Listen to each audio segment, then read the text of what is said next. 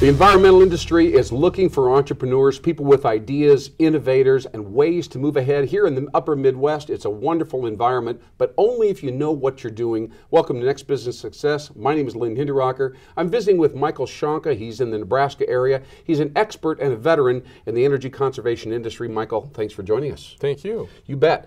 You know, we're all interested. We've heard about the green industry. There's got to be a million ways to make a buck if you're a smart individual and, uh, and ambitious and looking just a little bit ahead. Is that the correct take on the green movement?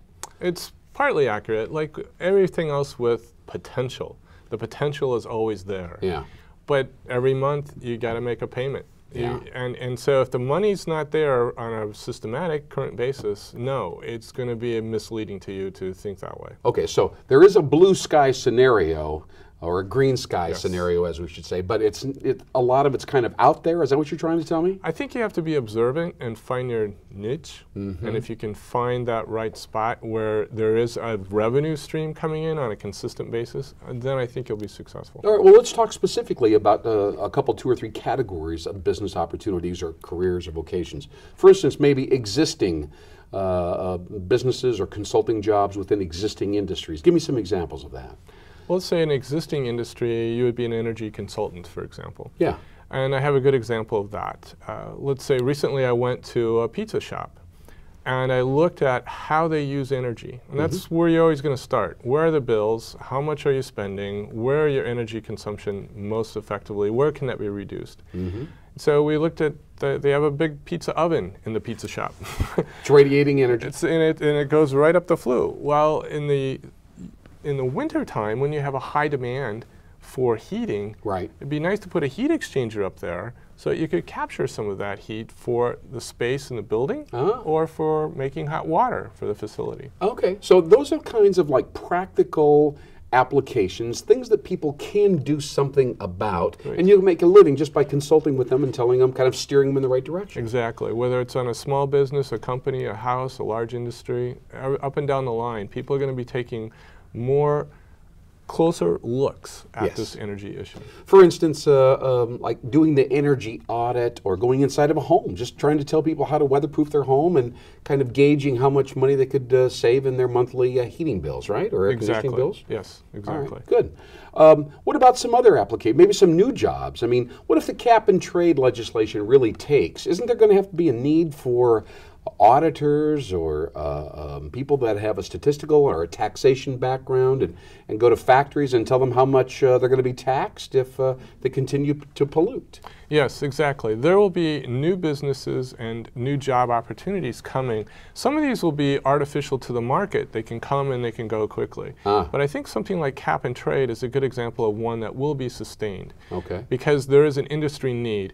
You have to get energy efficiency built into the economy and sometimes you can't do it with current market mechanisms. So you need to create artificial market mechanisms in order to prompt that initiative. Okay, that kind of leads us to the whole carbon offset uh, environment, which I know has been uh, couched in uh, uh, controversy a little bit, a lot of misunderstanding.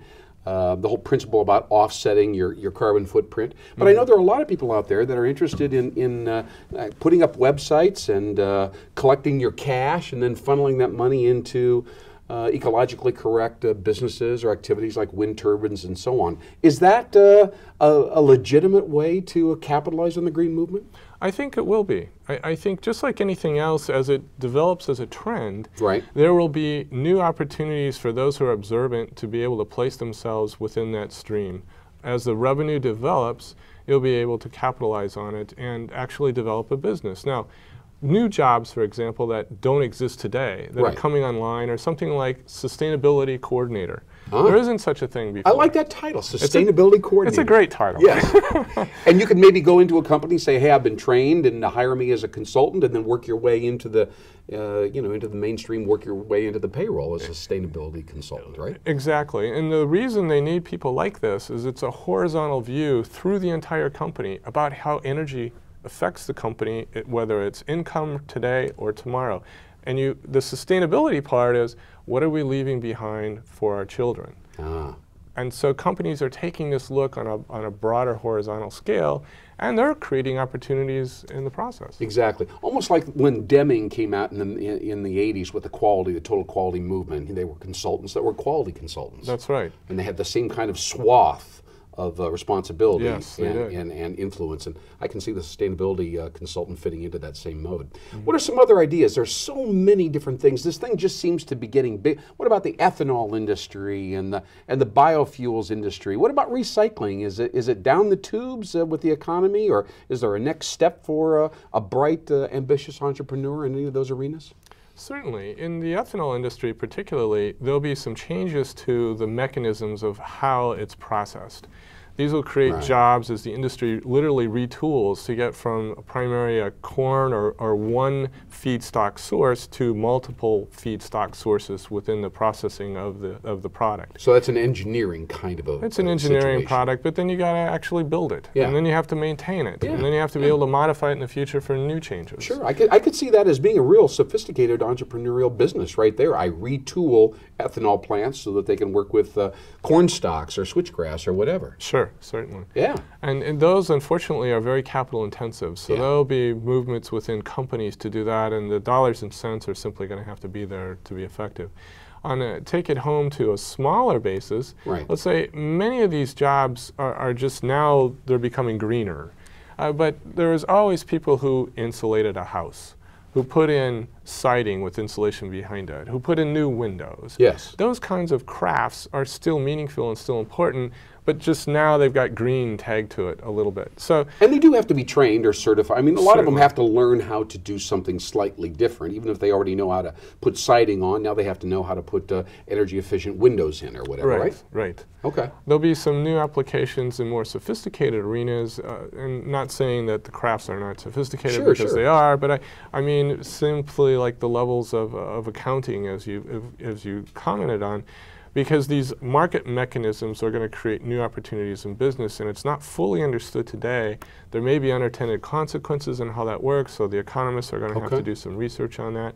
So that creates some job opportunities, grant opportunities for academic institutions, Ah. and things of that. Well, Mike Ashanka, thank you very much. You're a, a solar energy expert in the Omaha, Nebraska area, been around the alternative energy industry for 20 years or so. And so we've learned a lot right here. I knew there were a lot of opportunities, but I wasn't quite sure where to point uh, many of the viewers here on Next Biz Success. Thanks for joining us on Next Biz Success. Now you know what the lay of the land is in the green industry. It's not always what it seems. You have to look carefully, make sure you jump into the stream at the right point. Thanks for watching us. Keep on going, keep on growing.